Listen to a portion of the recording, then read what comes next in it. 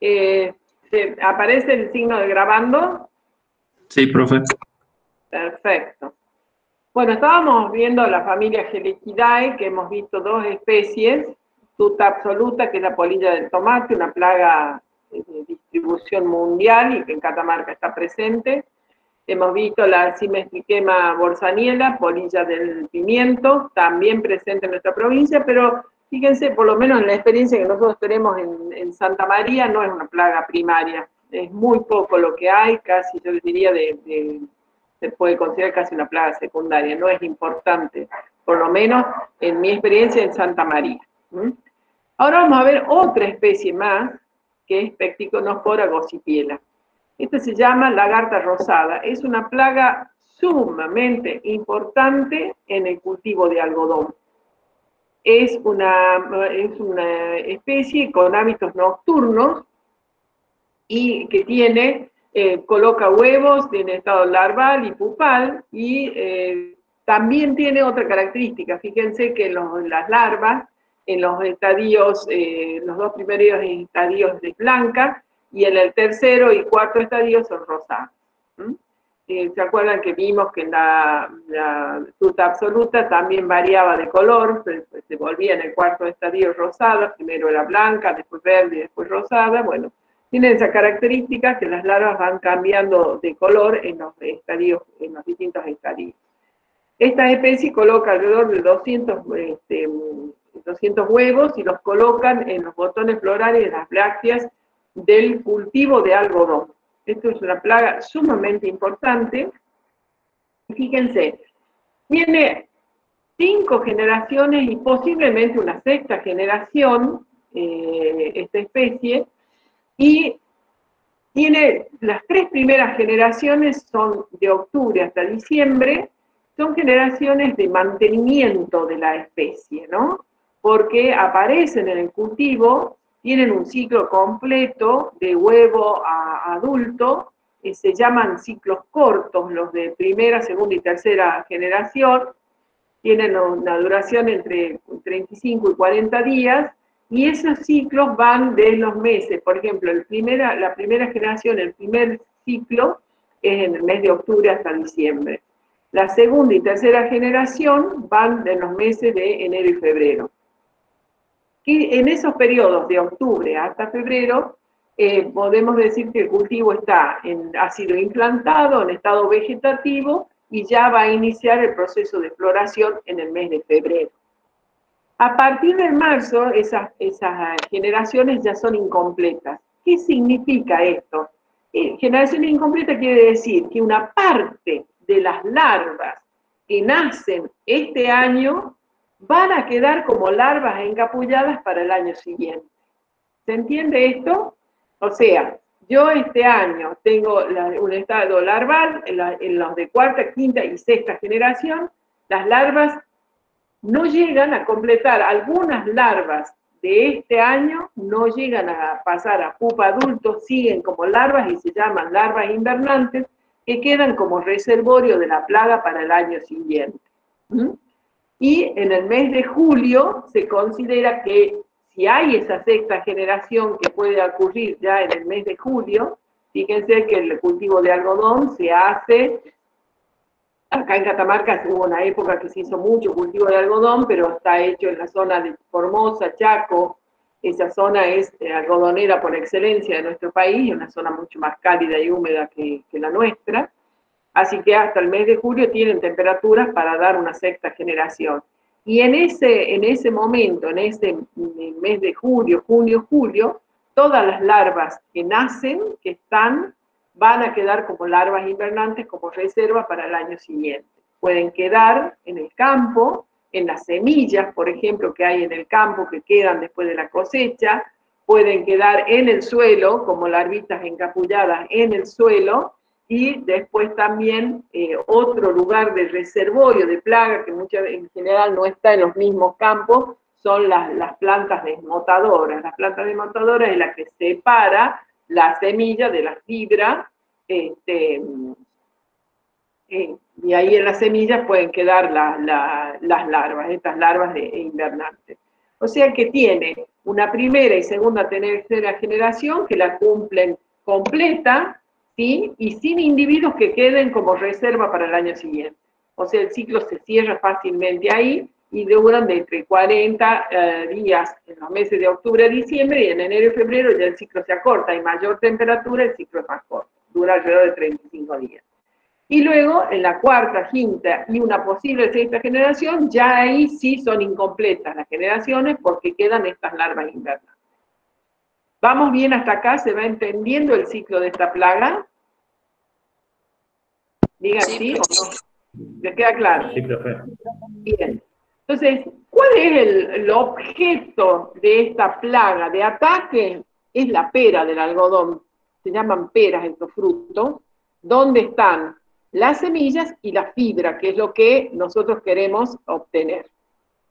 Por lo tanto, la, cuarta, quinta y sexta generación son las más problemáticas porque van, eh, atacan en época de floración, fructificación. ¿Y va, qué es lo que hace la, la larva? Se introduce dentro del fruto y la larva se comienza, va a comer la semilla, que es lo que le gusta, pero en eso de moverse dentro de la fruta va cortando la fibra y cuando se alimenta de la semilla la fibra se mancha. Por lo tanto, esa fibra no sirve porque está cortada y manchada. Por lo tanto, es una plaga muy importante. Y además, cuando ya está dentro de la, pera, que se llama, este fruto, eh, es imposible controlarla. Por lo tanto, el control debe ser antes de que vaya a penetrar en la pera. Tenemos eh, algunas maneras de determinar los umbrales de daño, o sea, el umbral de daño para hacer los tratamientos en el momento oportuno. Si estamos en floración, se contabilizan flores y cuando el 10% de las flores está atacada, se debe realizar el tratamiento. Cuando estamos evaluando ya en capullo, o sea, ya en fruto, el 20% que se encuentran atacados, se debe tomar una decisión manejo. Ahora, para esta plaga existen trampas de feromonas, trampas eh, que se instalan en el campo, que se pueden colocar eh, una trampa cada 3 a 5 hectáreas. El umbral de daño con trampas de feromona es de 10 mariposas de machos capturadas en una lectura. Ese es el umbral de daño. Hay países que son eh, eh, que cultivan, por ejemplo, el algodón, como por ejemplo es Israel, que tiene una importancia muy grande este cultivo en Israel, ellos el umbral del año lo han establecido en 8 mariposas, o sea, es menor que en otros países, ese umbral del año para obtener una máxima producción y una máxima calidad. Entonces ellos han determinado que son 8 mariposas por, eh, por día, eh, que machos que pueden ser capturadas, es el umbral del año. Si yo, por ejemplo, países como Venezuela y otros países que la cultivan, eh, el algodón ha sido llamado en algún momento de, en esos países el oro blanco. Tenía una incidencia en la economía de esos países tan grande que se lo denominó el oro blanco, el cultivo de algodón. Esto como un dato anecdótico, ¿no? Y eh, si yo trabajo con un umbral de 10 mariposas machos eh, por, por noche que me caen, ese es mi umbral de, tratamiento, umbral de, tratamiento oportuno, eso me está diciendo que yo voy a tener un 10% de bellotas atacadas. ¿sí?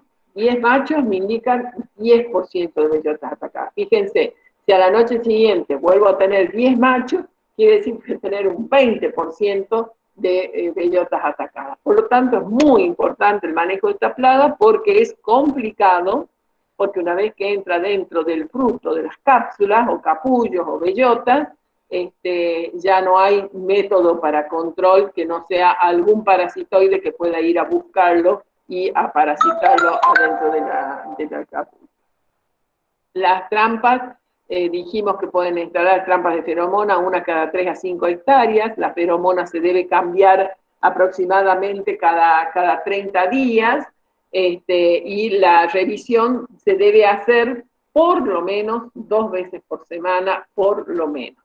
¿sí? A veces se revisan todos los días.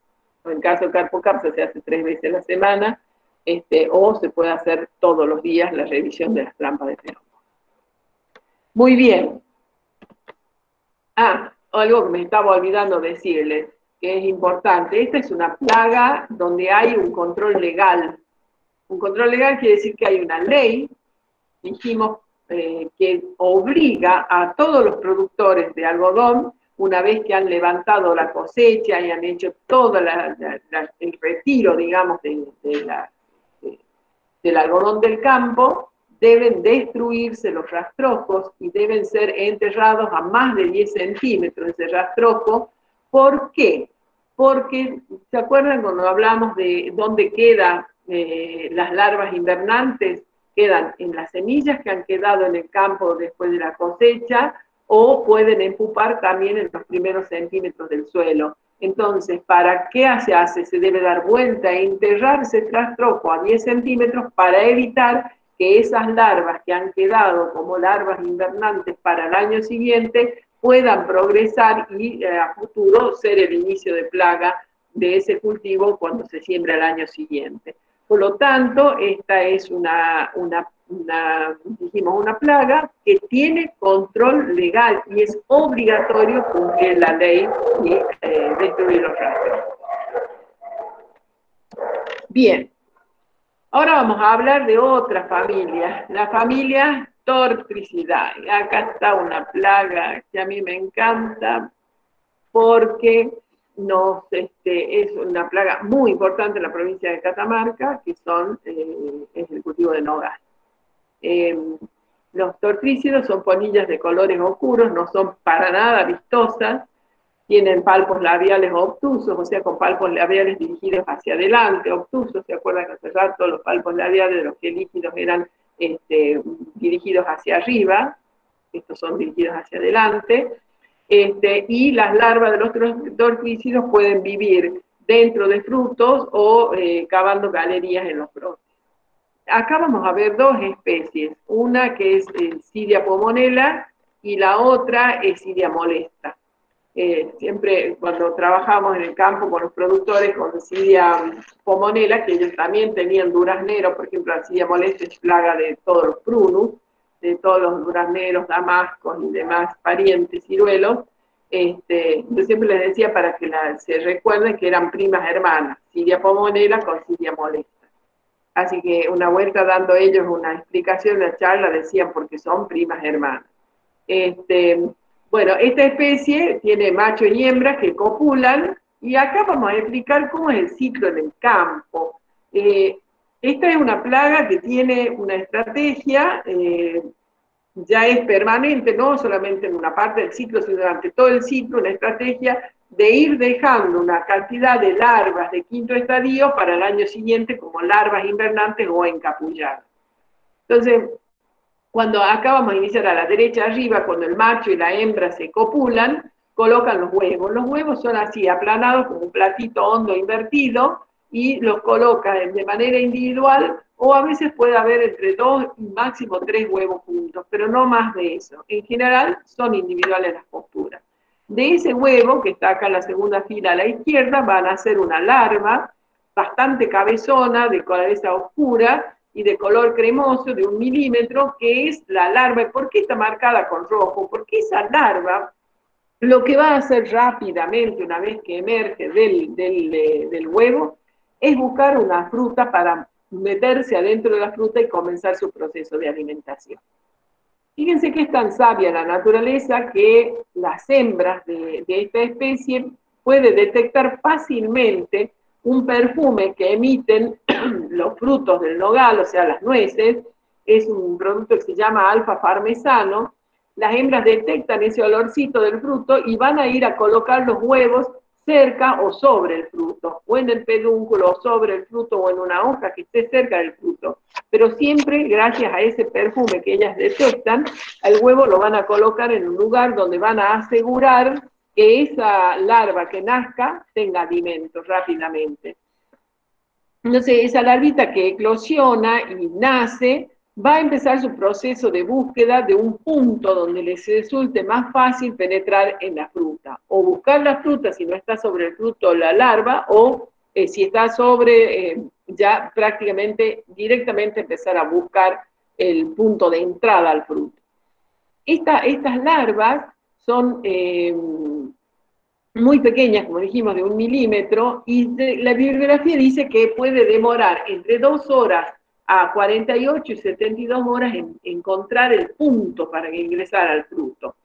Eh, fíjense ustedes que si ustedes tienen dos horas para que la larva penetre, cuando yo voy a hacer un método de manejo, yo tengo que tener cubierta mi planta con producto químico para evitar que entre. Ese es el secreto en el manejo de esta plaga, evitar que la larva esa que quiere ir a comerse, que la semilla, lo que le llamamos pulpa, es la semilla, y se va a ir a buscar eso para alimentarse de eso que es lo que le hace, lo que le gusta. Entonces, si yo dejo que la larva entre, ya estoy perdiendo producción. Una vez que está adentro, no hay método de control para esta especie. Es tirar plata y contaminar el ambiente si queremos, si estamos usando productos de, impacto ambiental. Este, entonces, el manejo de esta plaga, que mañana lo van a ver más en detalle con la ingeniera, es fundamental. Es evitar que esa larva que tiene ese círculo rojo entre las esa es su misión como ingeniero agrónomo futuro, evitar eso. Y para eso van a tener que trabajar mucho, aprender mucho y eh, monitorear también en la plaga. Una vez que penetra, se alimenta, tiene cinco estadios larvales y va a salir de la fruta para empupar. Nunca empupa dentro de la fruta, carpocapta. Va a empupar en las requebrajaduras del tronco o, en la base del tronco o en la hojarasca o en los postes que pueda haber cerca de, la planta, pero nunca empupa dentro de la fruta. Una vez que ha empupado, van a emerger los adultos y van a seguir, continuar el ciclo eh, ininterrumpidamente. Pero, ¿qué pasa con esta especie? Algo que les dije hace rato de cada generación de esta larva, por ejemplo, que penetra la fruta, que yo no logré matar y demás, siempre hay un pequeño porcentaje de larvas de quinto estadio que no van a pasar a pupa, que no se van a transformar en pupa y que van a quedar en el campo como larva invernante o encapullada. ¿Cómo inicia un ciclo en el campo? A partir de las larvas invernantes. Esas larvas invernantes acá arriba a la izquierda están, son las que quedan del año anterior para iniciar el ciclo este año en el cultivo.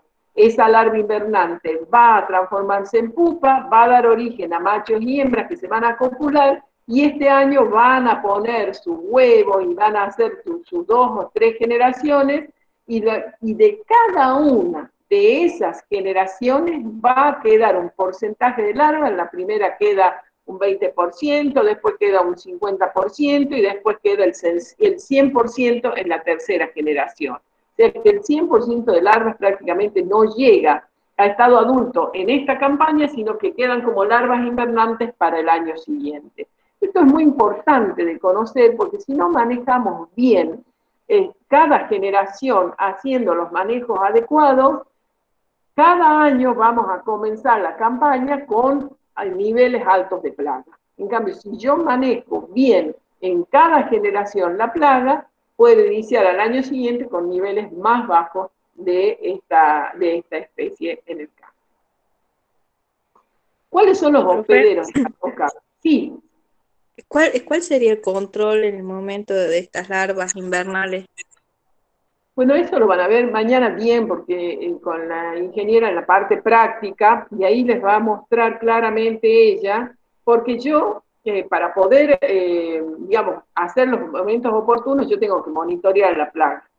Puedo usarlo a través de trampas de feromonas que existan y en, en base a la información que me dan las trampas de feromonas, yo sé cuándo tengo que hacer el tratamiento para que el producto esté sobre la planta, cosa de cuando eclosionen las larvas de los huevos, caminen sobre el producto, que sería un producto de contacto y que puede ser de ingestión también, y ya evitar de que la larvita entre, porque al entrar en contacto con el insecticida, cuando ella está buscando el lugar propicio para entrar en la fruta, ya entra en contacto con el insecticida y ya se va a morir. ¿Se entiende esto? Ah, bien, bien. Entonces, el monitoreo es la herramienta que yo tengo, que eso lo van a ver bien en detalle con la ingeniera mañana en la parte práctica. Yo no se lo bueno, doy. profe, gracias. Antes lo daba yo al práctico, ahora lo dan los chicos. Eh, es muy importante esto, eh, digamos, porque con el monitoreo yo sí puedo hacer un muy buen manejo, un muy buen manejo. Les puedo asegurar que podemos tener 0% de daño, este, o 0,5, o sea que no es daño prácticamente. Entonces, esta, la silla molesta, silla pomonela, se llama la polilla de la pera y la manzana. ¿Por qué se llama polilla? Porque estos son sus dos hospederos más preferidos, la pera y la manzana. Pero en nuestra provincia, la pera y la manzana están como unas plantas anexas a las plantaciones de nogales y el membrillo también. Entonces acá es más común encontrarla en nogal como plaga primaria y el membrillo, la manzana y la pera, que también están a veces como borduras o en lotes anexos, pero no están como un sistema de plantación este, hecho, digamos, en marcos de plantación y demás, sino ustedes admiten que el membrillo a veces está puesto en los cercos, en los, en los alambrados, este, completa su ciclo perfectamente en estas tres especies en la provincia de Catamarca. Pero el nogal es la plaga clave más importante en nuestra provincia este, de lo que es insecto, eh,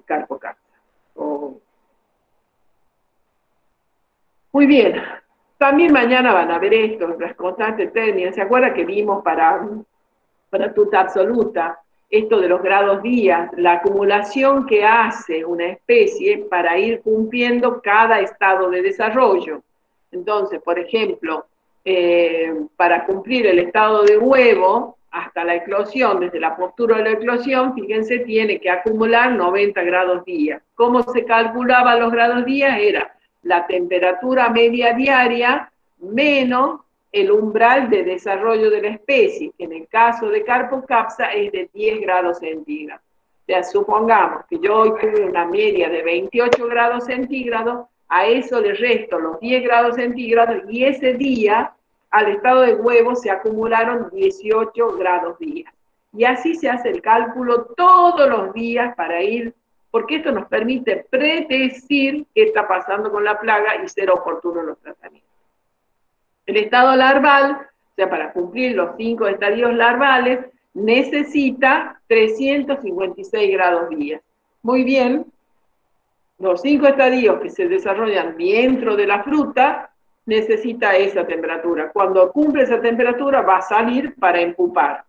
Y para formar la pupa, o sea, todo el proceso de pupa hasta la emergencia del adulto, para que se den todos los procesos de y que se dan en la pupa, necesita 120 grados día. Entonces, de esa manera, esos datos a nosotros nos permiten, estas constantes térmicas, a través de la sumatoria de los grados días, ir teniendo una idea en qué estado de desarrollo se encuentra la plaga y poder hacer un manejo. Mañana van a ver cómo se aplica esto de los grados días para la toma de decisiones, eso lo van a ver con la ingeniera Sonia mañana, bien clarito.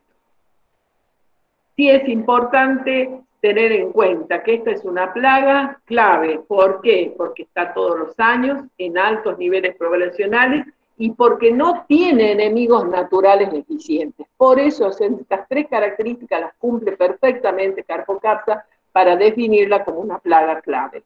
Está distribuida en toda la provincia. Catamarca, hace 30 años atrás, no tenía en toda la provincia Carpocapsa pero con el permanente comercio de las nueces, hoy en todos los departamentos que se produce, este, que se hace en agricultura, está presente Carpocapsa. Eh, nosotros tenemos en la provincia los, departamentos tradicionales de producción, han sido los departamentos del oeste, han sido Belén, que yo personalmente creo que es el corazón de la novalicultura de Catamarca, porque es donde las condiciones agroecológicas son espectaculares para obtener una nuez de altísima calidad. Es Andalgalá, es Pomán, es Santa María, en Tinogasta, hoy tenemos en Placlín, en el departamento Santa Rosa, o sea que ya en más de la mitad de la provincia hay, hay producción nogalera. El nogal no en todos lados se va a, desarrollar de la misma manera porque no todos los lugares donde se hace nogal tienen las mismas condiciones este, o, le da lo que tiene necesita el nogal para hacer un cultivo redituable, ¿no?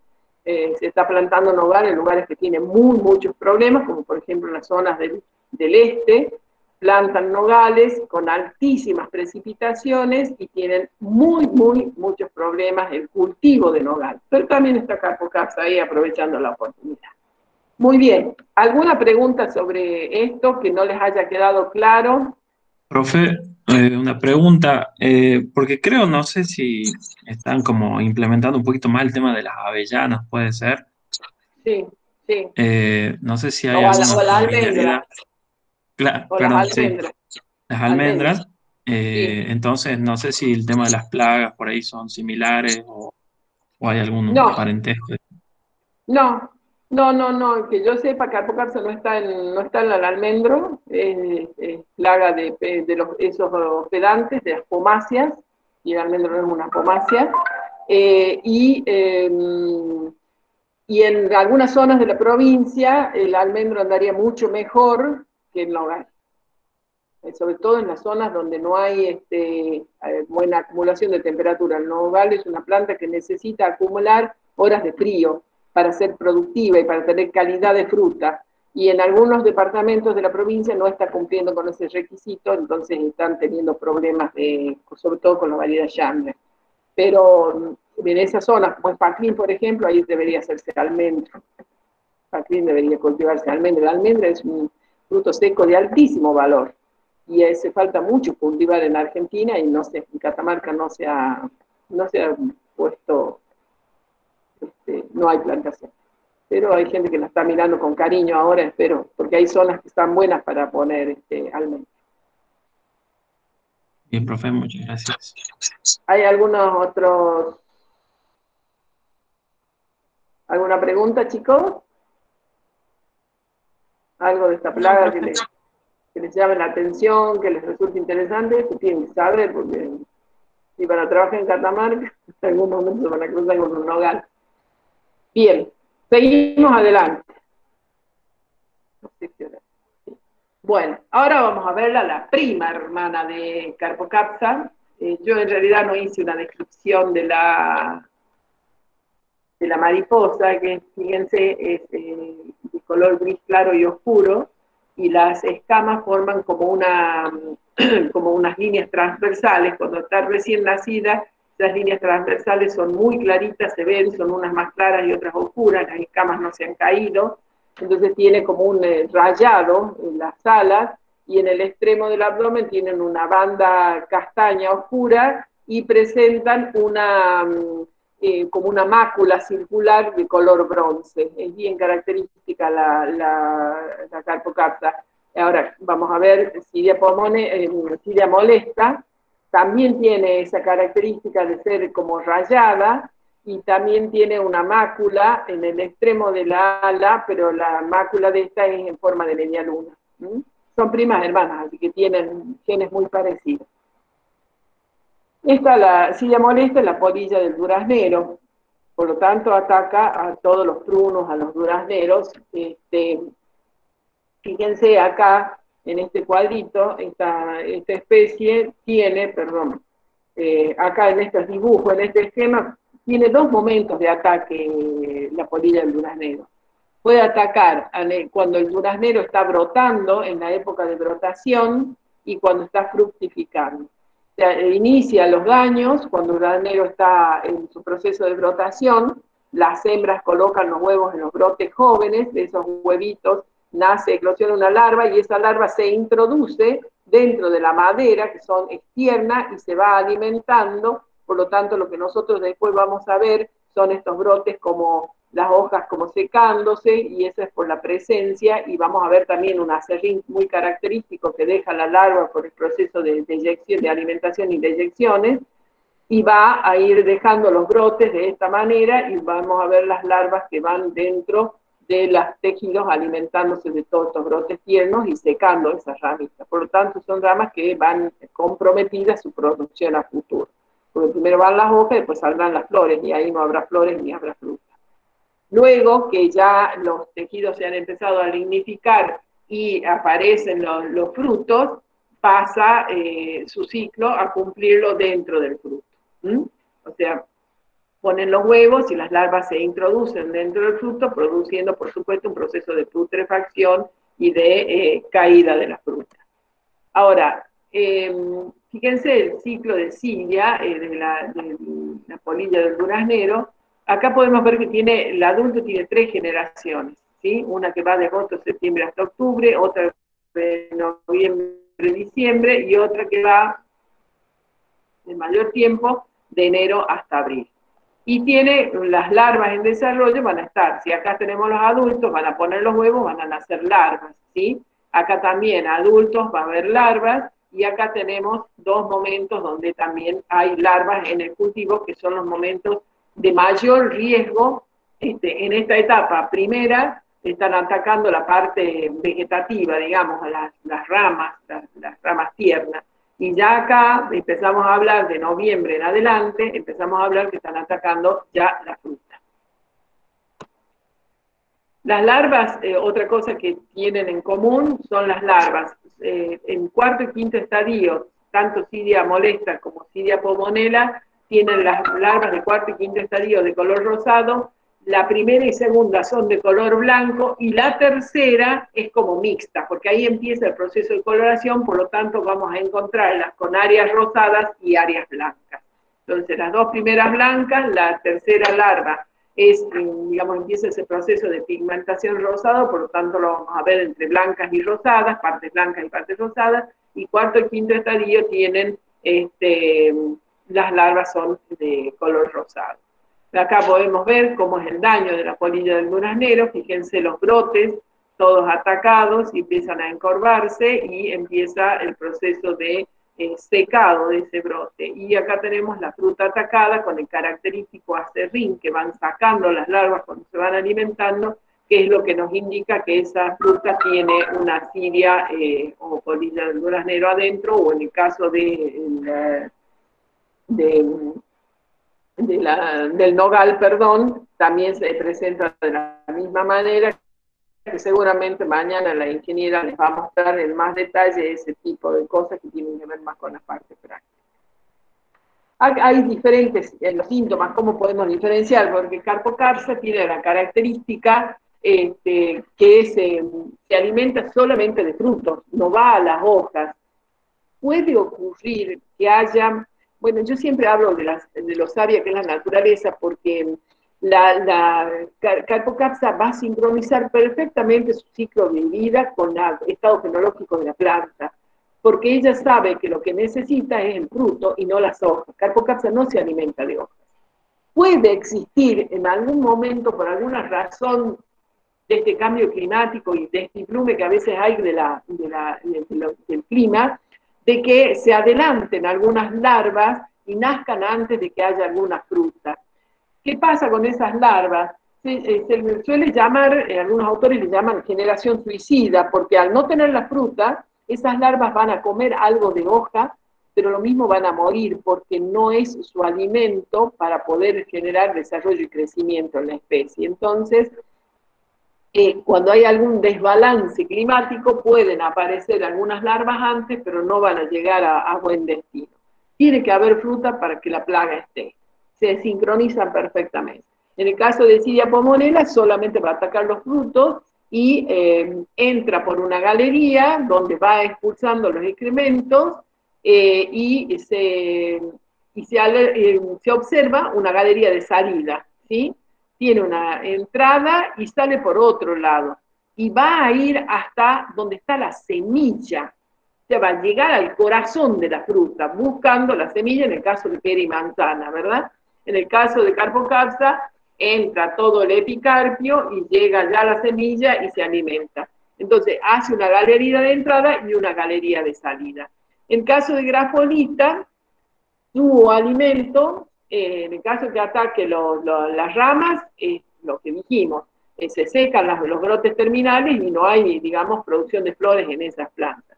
Ahora, en el caso que ataque la fruta, su objetivo no es la pepita del, duraznero, sino que se alimenta de la pulpa de la fruta y entra y sale eh, perfectamente, pero no llega a comer lo que es la semilla. Bien. Y vamos a ver otra especie que está dentro de esta familia, y ahí vamos a cortar hoy, nos va a quedar para ver mañana otras cosas. Eh, vamos a hablar sobre una, una plaga nueva en el país, en el país, que es la polilla de la vid o la polilla del racimo, que se llama la obesia boyotrana. Esta es una plaga nueva que ha entrado al país hace, mm, hará unos 6, 7 años, y la verdad que es una plaga sumamente peligrosa y muy seria para la viticultura y para la producción de fruta fresca. Esta es una polilla que eh, se alimenta de la vid eh, y tiene atacan todos los estados de la vid, no a las hojas, sino desde floración, fruta verde y fruta madura. O sea, el momento más importante productivo de un cultivo para quien lo hace económicamente, ¿no? Este, tiene esos tres momentos. ¿Cómo es el ciclo biológico de esta? Las, las hembras, que hay machos y hembras adultos, se copulan y las hembras colocan los huevos en las frutas, que son como pequeñas gotitas de agua blancas que están colocadas en la fruta o pueden estar colocadas cerca de las flores, ¿sí? En las flores. Eso, de esos huevos van a eclosionar las larvas, esas larvas se van a alimentar, ya sea si es un racimo floral o un fructífero, se van a alimentar de las flores o de las frutas, no importa si están verdes o maduras, las come igual. Pero tiene una característica, fíjense que ellas van como tejiendo toda una tela en el corazón del racimo y eso hace que sea muy difícil el control, porque se meten ahí adentro, salen a comer y se vuelven a proteger en el corazón del racimo, con lo cual es muy difícil de llegar con algún producto este, para tratarlo. Esa larva luego va a generar una pupa eh, esa pupa está en, digamos, en la corteza de las, de las vides. Ustedes han visto que las cortezas de las vides son muy rugosas, que tienen, este, que se van como desprendiendo a veces, y allí en esos bien, bien protegidos se meten las larvas para eh, formar la pupa, y luego emerge el adulto nuevamente. Ahora, dijimos que los huevos son muy pequeños, son como pequeñas gotas de cera apenas visibles, están y son de menos de un milímetro de tamaño. Fíjense, tiene cinco estadios larvales, que los cumple todos, ya sea en un racimo floral o fructífero. son en general, las larvas son de color verdosa, pero pueden eh, variar a un color más marrón o grisáceo. Y la, siempre la cabeza es de, color este, clara las, son muy ágiles, muy, muy movedizas y si se las molesta las larvas se pueden desprender con un hilo de cera que, que ellas segregan con las glándulas salivales. Em, dijimos que se genera como una, esos hilos de cera, como una envoltura cerosa que perforan así los, botones florales y se alimenta de los, de que miren, miren de lo que se alimenta, de los estambres y del gineceo, o sea que abortan las flores, no hay flores una vez que la larva se alimenta, cuando está en periodo de floración. es una plaga bastante, este, bastante peligrosa y aparte con esos hilos de seda van como envolviendo a las flores, lo cual no permite de que haya una buena floración. Las pupas, dijimos, las ponen en, los ritidomas, que se llaman la corteza de, de, las, este, de las vides, eh, pueden poner, hacer algunas veces en las hojas y también a veces pueden eh, este, en los racimos, en el interior de los racimos. Y la mariposa adulta es una mariposita que mide 6 milímetros de envergadura alar, este, el cuerpo de largo tiene 6 milímetros y con las alas desplegadas tiene entre 10 y 13 milímetros y es, eh, fíjense, es una mariposa poco, muy poco vistosa, que tiene manchas oscuras, alternadas con zonas más claras, y las alas, el este, segundo par de alas, tienen eh, una presencia de, de flecos o de pelitos.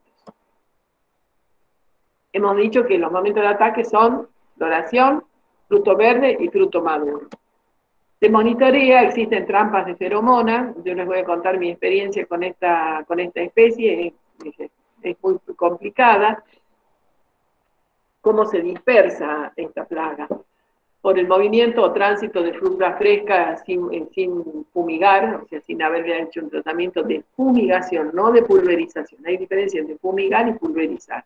Fumigar se habla cuando se aplica un gas eh, por movimiento de la maquinaria usada sin lavar ni desinfectar de un área, de, un área a otra. Fíjense que esta plaga ingresó de Chile con máquinas cosechadoras traídas de Chile a Mendoza, a la zona de Maipú, para cosechar uvas, y en la maquinaria vino la plaga y allí eh, fue el primer lugar donde se detectó en Argentina, en el departamento de Maipú, en Mendoza. Hoy eh, Mendoza tiene 165 mil hectáreas de vid, de las cuales 135 mil ya están infectadas con esta especie. No ha podido el país ni el SENASA lograr hacer una, digamos, cerrarla la plaga en ese lugar, pero tiene que ver con esto, ¿no? La falta de conciencia, el, el, transporte de fruta de un lado a otro, inclusive, chicos, este, cuando uno va de visita a una familia, ya te regalan un cajoncito de uva y uno se va chocho con el cajoncito de uva y ahí puede traer la plaga. Y eso es mucho de lo que ha pasado, el transporte sin control de racimos o partes de plantas que pudieran llevar la plaga. Rápidamente se ha extendido, ya está en San Juan, ya está en La Rioja y ya está en Cafayate. De Cafayate a Santa María, que es una zona vitícola muy importante de nuestra provincia y de altísima calidad, hay 80 kilómetros. O sea que si llegó de Chile y ya está, en, un ratito la vamos a tener en Santa María si es que no la tenemos ya. Lo cual es muy serio. ¿Por qué es importante, eh, muy serio? Porque es, digamos, le modifica, si es para uva, para consumo en fresco, le modifica el aspecto. Al generar esa secreción de hilos que van tejiendo y van comiendo los granos y van quedando los granos como envueltos en la parte del corazón del racimo, con, llenos de hilos de seda y granos comidos y demás, hace que el aspecto de esos racimos se, se deprecie, vaya para abajo. Pero también es el problema es que en esos procesos de pudrición se van a desarrollar hongos cuando comen la larva, se desarrollan hongos en ese proceso de pudrición que se genera y eso también, en el caso de la producción de vinos, van a modificar la calidad de los vinos y la vida útil de los vinos. O sea, le transmiten mal olor y sabor a los vinos. Por lo tanto, es una plaga peligrosísima. Entonces, están en un plan de manejo intensivo y con bombas atómicas más o menos en Mendoza, San Juan y en los lugares que se la ha detectado. Eh, a ver, lamentablemente, en nuestro país nunca hacemos muy bien las cosas, ¿no? Porque, por ejemplo, Antinogasta todavía no ha llegado, creo que no ha llegado. Antinogasta tiene un comercio muy, muy estrecho con Chilecito. Todos los sábados van los, productores de Chilecito a vender fruta, verdura, de todo en la plaza de Tinogasta. Y bueno, y ahí va a llegar la plaga, porque no hay ningún tipo de control. No hay ningún tipo de control y, vamos a tener un impacto muy grande en nuestra viticultura. ¿Por qué? Porque nosotros tenemos muchos productores pequeños que son viticultores y que no usan agroquímicos porque no los pueden comprar y porque de alguna manera las zonas también son eh, propicias para que no haya plagas, son zonas con, por ahí de climas más extremos. Pero el día que eh, esta plaga aparezca en todo este Fiambalá, gasta todo el norte de Fiambalá hacia el norte, va a ser un problema muy grande porque la calidad de los vinos va a ser modificada y tenemos buenos vinos. Entonces no hay un buen, unas buenas barreras fitosanitarias. Eh, se han basado solamente en colocar las trampas en el campo para detectar la presencia y cuando uno coloca una trampa de feromona para detectar la presencia de una plaga nueva y la encuentra, eso te dice que esa plaga no es que llegó ahí en ese momento, ya hace dos años que la plaga está en el lugar y ya se está manifestando en cuanto vos pones la, la, trampa. ¿Se entiende esto que estoy diciendo? O sea, el hecho que yo pongo una trampa no me está haciendo prevención, porque la prevención es otra. quemar residuos de poda, evitar la, comercialización sin ningún tipo de control, etcétera, etcétera, y ahí en, todo lo que está escrito lo van a poder leer después, pero a ver, eh, no se ha trabajado en prevención, se ha trabajado en determinar si la plaga está o no está. Cuando yo detecto por primera vez una plaga en un lugar, significa que esa plaga ya hace entre uno o dos años antes ya, se, ya llegó y empezó su ciclo a poder reproducirse y ya cuando yo pongo la trampa ya está instalada la plaga. ¿Se entendió esto que dije? Sí. Bien. Sí, profe, le hago una consulta. Sí. Eh, eso de los controles fitosanitarios que no hay en la provincia, ¿a qué se debe? ¿Por qué no, no los tenemos? La verdad yo no conozco muy bien cómo se manejan en la provincia. Eh, hay barreras fitosanitarias, pero no, no funcionan, porque si funcionaran, pero no es porque no funcionan en Catamarca, no funcionan en ningún lado del país. Ya tenemos un serio problema de conciencia, de respeto por las normas, de conciencia de eh, de lo que puede pasar frente al ingreso de una nueva plaga, ¿sí?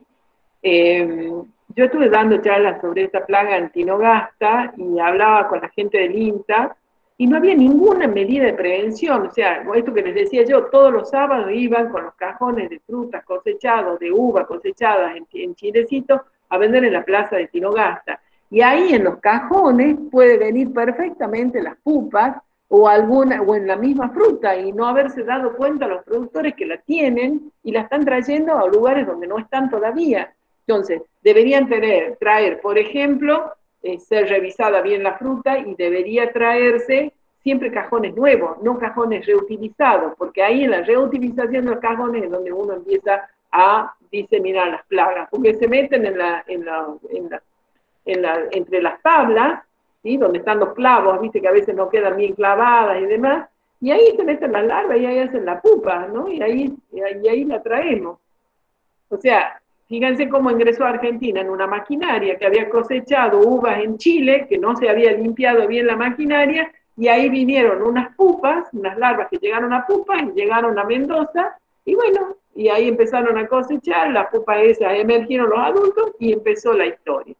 Hoy, hoy la provincia, eh, fíjense, en, en Mendoza es terrible el problema que tienen hoy en día. Es una lucha terrible la que están haciendo. Si ustedes leen la información de Mendoza, no saben la batería de insecticidas que han estado utilizando y no la han podido controlar. Cada año se iba ampliando esa área donde la plaga estaba.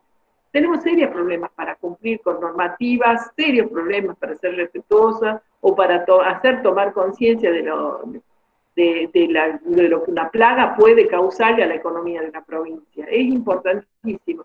Fíjense que hablando, cuando la encontraron en Cafayate, fue todo un tema, y creo que nunca instalaron la barrera entre Cafayate y Santa María.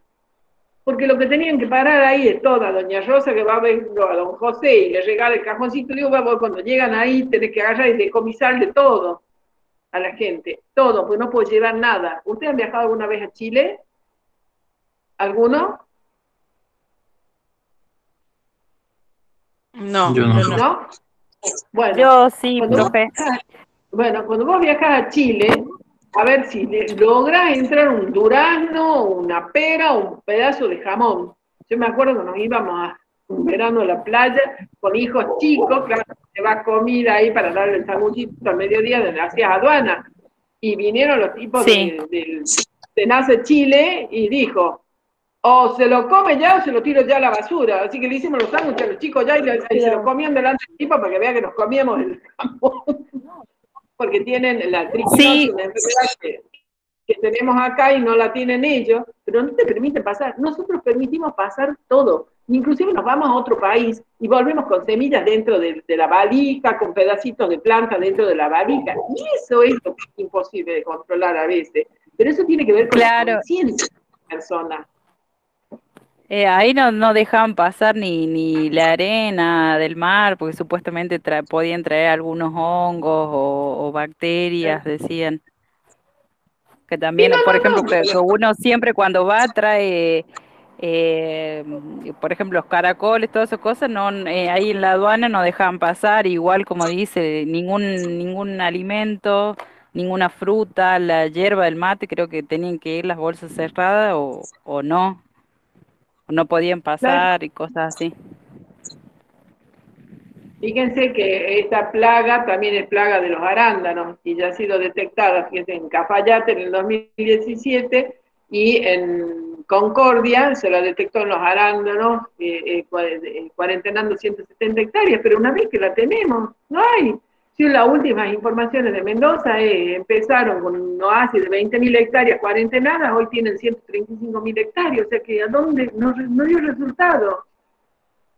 Eh, somos, somos medio complicados los argentinos para estas cuestiones, no, cumplimos y no tampoco generamos la conciencia de, de, lo grave que es esto.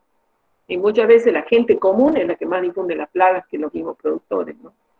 Pero porque no hay unas buenas campañas a veces o de concientización de, de, cuidar lo que tenemos. Es así. Así que esta es una plaga nueva y eh, no sé si no ya está en Santa María. La verdad que no, últimamente no he conversado con nadie, pero no está lejos de que ya esté. No, no, la vamos a tener, lamentablemente. Y para la, viticultura de Catamarca va a ser un problema, por el tipo de daño que hace y por el tipo de productores que tenemos, que son de bajos recursos en general y que no hacen tratamiento. Así que este, veremos qué pasa. Bueno, son las ¿Qué hora es? Bueno, cinco y media. Vamos a hacer, chicos, una cosa. Nos queda todavía un poco más de clase. Pero vamos a continuar mañana a las 10 de la mañana. Vamos a ver dos, o tres familias que nos quedan. Una familia muy importante que son los nortuidos, que tienen un montón de especies. Y después vamos a ver eh, y mañana vamos a terminar, es mucho lo que falta todavía. ¿Qué les parece mañana a las 10 que nos volvamos a encontrar? Bueno, profe. Bueno, pero antes quisiera... Eh,